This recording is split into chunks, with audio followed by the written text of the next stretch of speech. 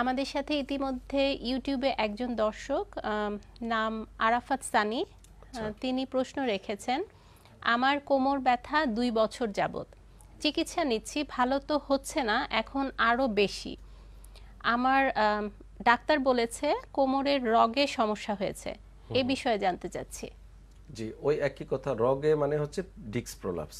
মানে এইটা ডাক্তার সাহেবরা আমরা যখন রুগীদেরকে বুঝাই যে আপনার এখানে চাপ খেয়ে আছে বা হাড় সরে গেছে বা রগে চাপ আহ, রগে সমস্যা ও ঘুরে ফিরে একই কথা কোমরের ডিক্স প্রলাপসের আবার কিন্তু বিভিন্ন নাম আছে।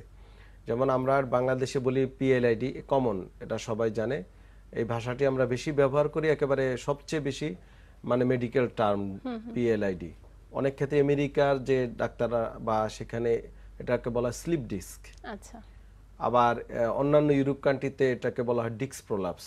আর বাংলাদেশে গ্রামের মানুষ অনেক সময় বলে সায়াটিকা বাত আচ্ছা। তো একই জিনিসের বিভিন্ন নাম। শুধু কেবল মানে লেভেলটা চেঞ্জ হতে পারে। কারও level number L one two এর মাঝখানে হয় কারও টু থ্রির মাঝখানে হয়।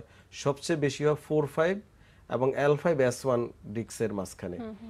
সেটা ডান দিকে প্রলাপস হতে পারে অথবা বাম দিকেও প্রলাপস হতে পারে। অথবা পিছনে পোস্টোর ল্যাটারাল প্রলাপস হতে পারে।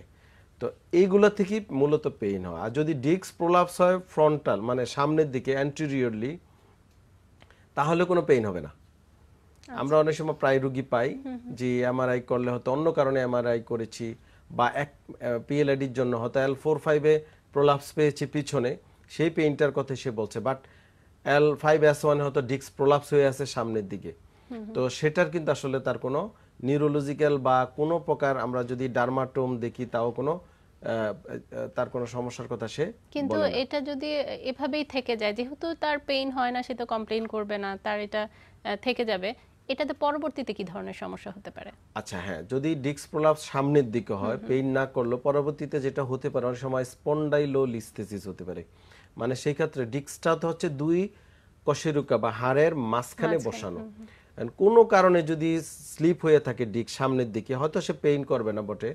কিন্তু যে দুই ভার্টেব্রার মাঝখানের যে অ্যানাটমিক্যাল স্ট্রাকচারটা এটা কিন্তু কিছুটা হলো ভান্নালেবল অবস্থায় থাকবে। হয়তো একটু কোনো কারণে পড়ে গেল। মানুষ তো লাইফে কত কিছু হতে পারে। একটু আঘাত পেল একটা ভারী কিছু টান দিতে গেল। ওই সময় অনেক সময় লিস্থেসিস হওয়ার চান্স আছে। যেমন আমি প্রায় রুগী পাই যে হাড় সরে গিয়েছে। মানে একটা হাড় আরেকটার উপরে বসানো মাঝখানে ডিস্ক কিন্তু হাড় দেখা যায় স্লিপ কেটে আছে। ডিস্কও প্রলাপস আছে এবং হাড়ও স্লিপ কেটে আছে। রুগীর হিস্ট্রিতে সে বলে আমি জীবনও পড়ি নাই কোথাও পড়ি নাই কোনো আঘাতের হিস্ট্রি নাই। কিছু হিস্ট্রি তো অবশ্যই রুগী জানবে যেমন রোড অ্যাক্সিডেন্ট উপর উপর জায়গা থেকে পড়ে গেলে বা গাছ থেকে পড়ে গেলে বা স্লিপ খেয়ে যদি সে বাথরুমে বা যে কোনো জায়গায় পড়ে সে তো হিস্ট্রি জানবে। সে বলে না আমার এই জাতীয় কোনো সমস্যা নাই। তো এই থেকেও কিন্তু পরবর্তীতে এই জাতীয় সমস্যা হতে পারে। তবে এটা নিয়ে অত উরিড হওয়ার কিছু নাই। কমপ্লেন যদি না আসে শারীরিকভাবে এই মানে সামনের ডিক্স প্রলাপস নিয়ে যেটা আমরা বলি অ্যান্টিরিয়র ডিক্স প্রলাপস নিয়ে কোনো মানে টেনশন করার কোনো প্রয়োজন নেই। যদি আমরা কোনো কারণে পাই রুগীর এমআরআই করতে গিয়ে বা কোনো বা সিটি স্ক্যানে মনে হলো যেটা সেই ক্ষেত্রে আমরা কিন্তু তাকে প্রিভেন্টিভ বিভিন্ন এক্সারসাইজ দিই। ব্যায়াম দিয়ে দিই যেন এটার সামনে রুগীর কোনো ভবিষ্যতে সমস্যা না করে। সেই জন্য। হাড় জোড়ার তো বিভিন্ন ধরনের ক্ষয় নিয়ে আমরা কথা বলছি কিন্তু চিকিৎসা নিয়েও কথা বলছি কিন্তু যদি এরকম কি কিছু আছে কোনো প্রিভেন্টিভ কোনো মেজার যেন এটা না হয়? এটা খুবই ভালো কথা বলছেন। আপনি দেখবেন একজন ষাট বছর বয়সের মানুষ যদি আমরা স্টাডি করি মানে সিক্সটি ইয়ার্স যদি আমরা গড়ে নেই সেটা মেল ফিমেল হ্যাঁ যেটা র্যান্ডম যে আমরা যদি রিসার্চ ওয়ার্ক করি তো দেখবেন দুইটার মধ্যে মহিলাদের অবস্থাটা একটু বেশি খারাপ পুরুষদেরটা ভালো। আবার পুরুষের মধ্যে এই বিষয়টি খুবই ইন্টারেস্টিং এই বিষয়টি নিয়ে আমরা কথা বলব। একজন দর্শক অপেক্ষায় আছেন। জি। হ্যালো আসসালামু আলাইকুম দর্শক। কে বলছেন? কোথা থেকে বলছেন? হ্যালো আসসালামু আলাইকুম। ওয়ালাইকুম সালাম। আমার আমার নাম হচ্ছে নায়না। আমি আমার আম্মু পেশেন্ট ওনার ব্যাপারে কথা বলতে চাচ্ছিলাম। জি বলুন আমরা শুনতে পাচ্ছি। জি আমার মায়ের অ্যাকচুয়ালি বয়স হচ্ছে ফিফটি ফোর হ্যাঁ উনি গত জুলাইয়ের উনিশ তারিখে উনি ব্রেন স্ট্রোক করেছিলেন। ব্রেন স্ট্রোক করার পরে ওনার ব্রেন ব্রেন স্ট্রোক করার পর ওনার লেফট সাইডটা প্যারালাইসিস হয়ে গেছে। লেফট সাইডটা প্যারালাইসিস হয়ে গেছে। লেফট সাইডটা প্যারালাইসিস হওয়ার পরে আমরা মানে ওনাকে উনি যে ব্রেন কার্ডিয়াকে ছিলেন তো ওখানে থেরাপি দেওয়া হয়েছে। আমরা বাসায় আনার পরেও কন্টিনিউ করছি ওনার একদম থেরাপি এভরিডে কন্টিনিউ করছি। তো ওনার পাটা কিছুটা মানে শক্তি এসছে পায়ে কিছুটা শক্তি এসছে উনি কিছুটা হাঁটতে পারে ধরে ধরে। লাঠি দিয়ে বা আমাদেরকে ধরে হাঁটতে পারে। কিন্তু হাতটাতে একেবারেই কিছু মানে কোনো মাসেল পাওয়ার আসেনি আমাদের কাছে এরকমই মনে হচ্ছে। তা এখন সেক্ষেত্রে আমাদের করণীয় কি হতে পারে বা আমরা অ্যাকচুয়ালি কি করলে ভালো হয় ওনার জন্য। টোটাল টোটাল স্ট্রোক থেকে পর্যন্ত কতদিন হলো? মানে যেদিন হলো? উনি জুলাইয়ের উনিশ তারিখে স্ট্রোক করেছিলেন। এই এই বছর দুই হাজার এই একুশ বছর, এই বছর এই বছর। আচ্ছা ওনার অন্য কোনো প্রবলেম আছে কিনা? আমি জানতে চাই। অন্য প্রবলেম বলতে ওনার ডায়াবেটিস আছে ওনার প্রায় বারো বা বারো বছরের উপরে হবে ওনার ডায়াবেটিক বারো তেরো বছর ইনসুলিন নেন উনি। আচ্ছা। অনেক বছর একদম ডায়াবেটিকের প্রথম থেকে ইনসুলিন নেন ওনার কিডনি প্রবলেম আছে। আচ্ছা আর ওনার স্ট্রোকটা কি হেমোরেজিক না ইসকেমিক বলতে পারবেন? আহ, ওনার স্ট্রোকটা হেমারেজিক না ওনার স্ট্রোকের কারণে এমআরআই রিপোর্টে আমাদেরকে দেখে যেটা বলেছে যে স্ট্রোকের কারণে ওনার ব্রেইনের রাইট সাইডের কিছু সেল মরে গিয়েছে শুকিয়ে গিয়েছে, আচ্ছা। হেমারেজ হয়নি কোনো আচ্ছা আচ্ছা জি ধন্যবাদ। আপনার উত্তর আমি দিচ্ছি। ওনার মার যেটা হয়েছে ইসকেমিক স্ট্রোক তো জুলাই অগাস্ট রানিং এখন আমাদের। ফিজিওথেরাপি ঠিক আছে চলতে আছে কিন্তু এটা হচ্ছে কি আমাদের যে লোয়ার এক্সট্রিমিটি আমাদের কাছে সেফালোকডাল ল আছে বিভিন্ন মানে আমাদের ব্রেনের কিন্তু যত সেল উপরে মানে আমাদের সেরিব্রামের উপরের অংশের নার্ভাস সেলগুলো আমাদের শরীরের নিচের অংশের নিয়ন্ত্রণ করে আবার নিচের অংশটা উপরের অংশে নিয়ন্ত্রণ করে আবার ডান বামের নিয়ন্ত্রণ করে বাম ডানের নিয়ন্ত্রণ করে তো এই জন্য কোথায় তার এফেক্টটা হয়েছে? ওই অনুযায়ী এফেক্ট মানে ইয়ে হবে রুগীর শারীরিক কমপ্লিকেশনটা আসে। তো স্পেশালি আমরা দেখে থাকি বেশিরভাগ ক্ষেত্রে স্ট্রোকজনিত যে আমরা হেমিপ্লেজিয়া বলেন বা প্যারালাইসিসের ক্ষেত্রে যে লোয়ার এক্সট্রিমিটি খুব দ্রুত ইমপ্রুভ হয়। আপার এক্সট্রিমিটি লেস মানে আসতে বা দেরিতে ইমপ্রুভমেন্ট হয়। আবার এখানে রিহ্যাবিলিটেশনের একটা বিশাল ভূমিকা আছে।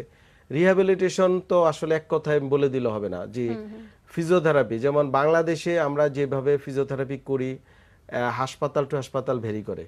আবার বাংলাদেশের সাথে ইন্ডিয়া ভেরি করবে। ইন্ডিয়ার সাথে থাইল্যান্ডের ভেরি করবে। মানে থাইল্যান্ডের সাথে আমেরিকার ভেরি করবে। দর্শক যেমন লেখেন না বা আমাদের কাছে প্রশ্ন করেন যে অনেক দিন ধরে ট্রিটমেন্ট নিচ্ছে ফিজিওথেরাপি করছে কিন্তু কোনো ইমপ্রুভমেন্ট হচ্ছে ইমপ্রুভমেন্ট নাই। এমনকি আপনার মজার বিষয় আমি বলি যেমন ইউরোপের অনেক কান্ট্রিতে স্পেশালি যেমন ইটালি বা অনেক কান্ট্রি আছে ইভেন কি অস্ট্রেলিয়া আমেরিকাটা একটু ডিফারেন্ট ওই সকল দেশে কোনো প্রকার তারা এই স্ট্রোক পরবর্তীতে কোনো ইলেকট্রোথেরাপি ব্যবহারই করে না। মানে তাদের পারমিশন নেই দেওয়ার। আবার অনেক দেশে স্পেশালি আমাদের এশিয়া তারপরে হচ্ছে আপনার আমেরিকা বলেন তারপরে অনেক দেশে আবার আমরা প্রচুর ইলেকট্রোথেরাপি ব্যবহার করি।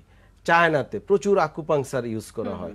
এখন এইটা এই যে টোটাল এটা একটা সিস্টেম অফ মেডিসিন ঠিক না? এবং অত্যাধুনিক আধুনিক মডার্ন মেডিকেল সায়েন্স এই ক্ষেত্রে ওই ফিজিওথেরাপি চিকিৎসক ডিসিশন নিবে তার রোগীর ক্ষেত্রে কোনটা বেটার রেজাল্ট করবে কোন থেরাপি দিবে।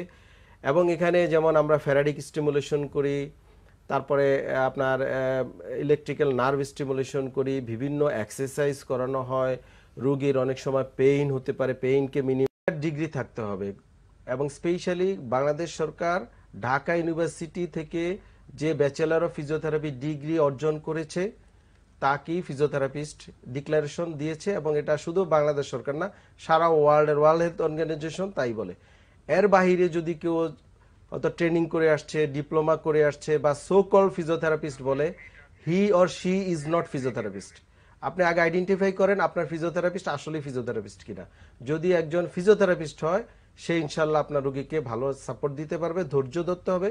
মাত্র এক মাস গিয়েছে, ইনশাল্লাহ হয়তো প্রপার ওয়ে থেরাপি দিতে দিতে দিতে ইমপ্রুভ হয়ে আসবে। আর ফিজিওথেরাপিটা আসলে কি বাসায় আমরা দিতে না করি, কারণ হসপিটালাইজড করলে রুগীকে মনিটরিং হয়, রুগীর প্রপার ফিজিওথেরাপি হয়, এগুলা তিন বেলা অন্তত দেওয়া যায়, বা কোনো একটা ওমিট করতে চাইলে ওমিট বন্ধ করে দিতে চাইলে সেটা দেওয়া যায়, কোনো একটা নতুন করে দিতে চাইলে, একটা অ্যাসেস করে কাজটা করা যায় আর কি, সহজ হয়।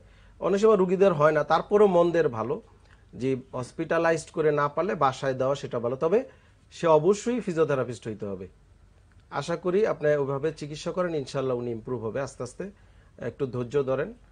আর ফার্দার যেন রুগী খারাপ না হয়, যেমন আবার স্ট্রোক যেন না করে সেই ক্ষেত্রে আপনার যে ডায়াবেটিস বা প্রেশার বা অন্যান্য যে কোমরবিডিটিস আছে, অবশ্যই কোনো নিউরোলজিস্ট দেখছেন, ওই ডাক্তার সাহেবের সাথে আপনারা নিয়মিত ফলো আপ করবেন, ওনাকে দেখাবেন।